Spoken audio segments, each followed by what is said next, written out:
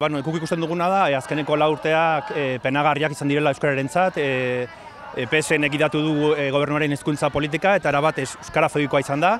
Eta ikusi dugu ba, bueno, e, alderdi euskaltzaleak ez direla gai izan e, geldiarazteko, ez? Azkenerako erasoa izan zen ba, ekainean bertan, e, gobernu berria e, negoziatzen ari ziren bitartean,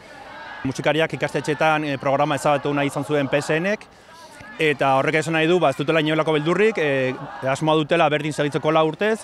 eta bueno, ez dugu ikusi ez negoziazioetan e, publikoki behintzat, ez e, akordio programatikoan, e, aparkatu, akordio programatikoan deus ere, ba, esanen duenik, ba,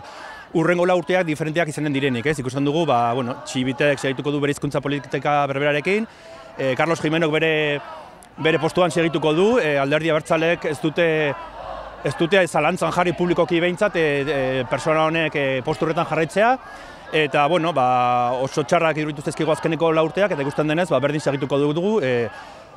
Euskal Gintzak eta alderdi Euskaltzalek ez badugu e, mugarik jartzen.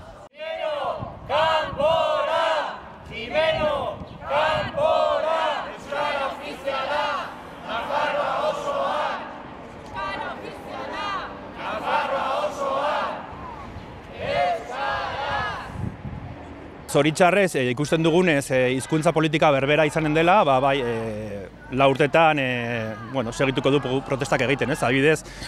lehenbiziko gauza ikusteko dagoena ez, e, dago, da, ba, adibidez, lezkairun zer gertatuko den, ez? Teorian, teorikoki po, e,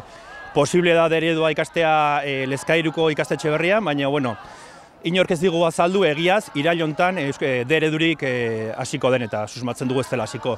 Eta bueno, ikusten dugu izanen direla beste lau urte berdin, e, politika euskarafobiko batekin, Carlos Jimeno ezkuntzako kontseilari, JK Euskararen kontra, eta ba, segitu beharko dugu elkarretaratzeak egiten eta mobilizatzen.